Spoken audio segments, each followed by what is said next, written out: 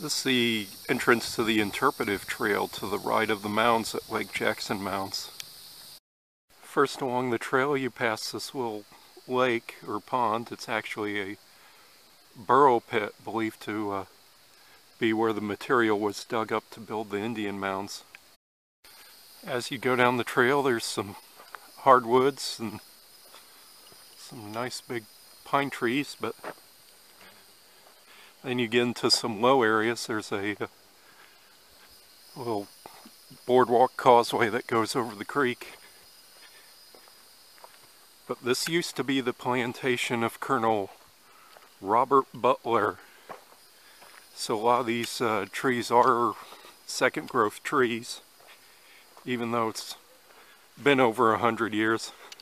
I didn't go on that boardwalk, I'll actually be coming back that way. I took a right and I'm going down the path. I'm going to see the area where it used to be the grist mill owned by Robert Butler. And coming up on the trail, I can hear the water rumbling. And you can see the uh, disturbed bank of the creek bed.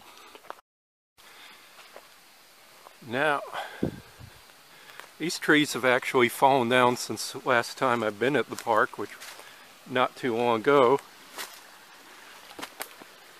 There's been a lot of flooding and high water.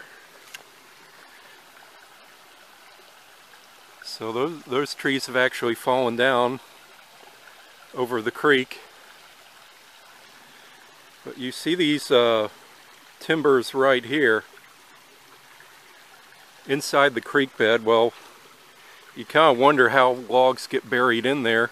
I believe that's uh, part of the grist mill that Colonel Robert Butler had. See one of the logs is flat here, almost as it's, if it's been carved. You know, normally you don't have trees like in, in the middle of the bank, embankment like that. So I'm kind of thinking maybe those were put there on purpose and this might be the uh, remains of Robert Butler's grist mill that was here. So very scenic. It's another tree that's fallen down. The banks are eroding really bad. And there's been a lot of rain this season, which has uh, probably contributed to it.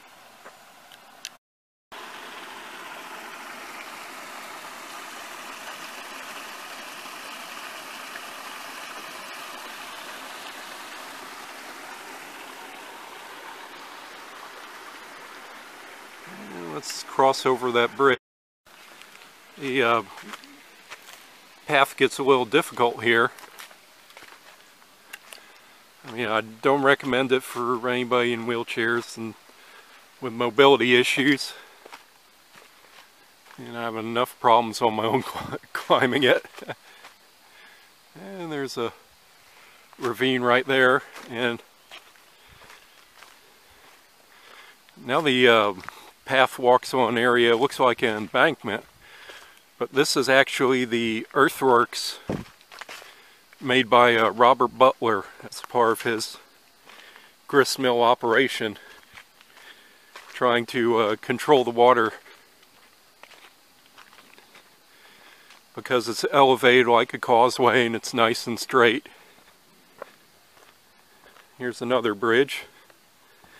Little seepage creek that comes out of the hillside. Up there where you where all the ferns are.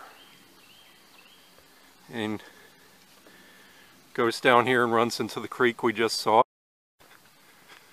Okay continuing on the earthworks. Now uh, Colonel Robert Butler was raised by Andrew Jackson. And so he was ward of Jackson. His father died so Jackson got the court to uh, legally turn Butler over as his wards. And so he grew up in the First Seminole War.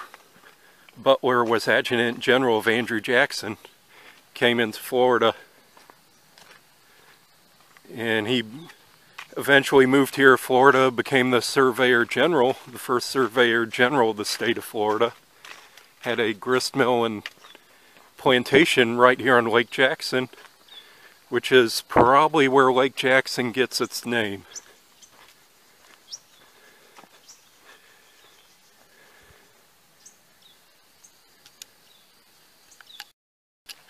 Well, it's uh, late May, and the green is really coming out on the pathway.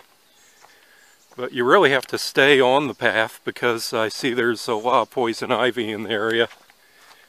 Leaves the three. I see some down there. Well, it's probably hard for you to tell on the video. Here's some nice poison ivy there. And here's some more right here. It's all over the place, so please stay on the path when you're here on the uh, interpretive trail as I continue walking on uh, Colonel Butler's earthworks. Now I think there's a sign that says they're earthworks, but the park really doesn't have any information about Butler in the brochures or on the signs or anything like that. That's all the research that I've done. Robert Butler is the one who was responsible for saying the uh, prime meridian marker, which is now in Cascades Park near the Capitol downtown. And of course he arrived too late and so the job was done by his uh, subordinate. And there's always a lot of controversy surrounding surveying in Florida. And so uh, Butler was always under this cloud of uh, political controversy.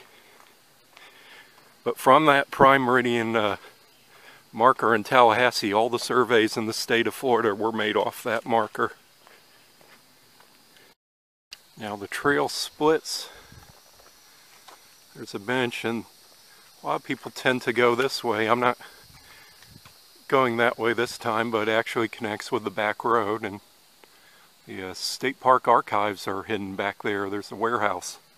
It's like the Indiana Jones warehouse of the state parks. But we'll not go there. We'll just go down here across the wooden bridge. And the wooden causeway where the uh, stream goes over.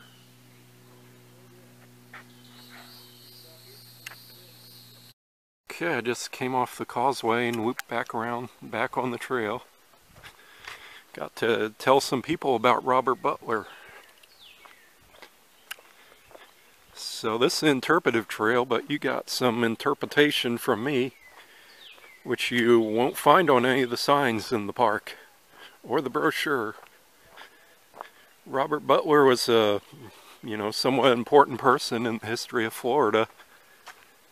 And so it's kind of my job to educate you folks and find out about the history.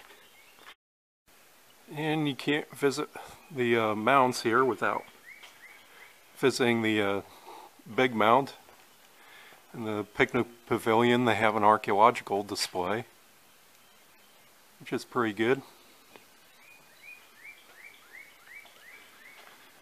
And there's a little foot bridge that goes over the creek we just saw in, in the woods that had the grist mill and it runs into Lake Jackson of course and grass and plants are really growing over it but it's a and the walls eroding away on this side but it's a nice creek and let's go up the uh, Temple Mound here. And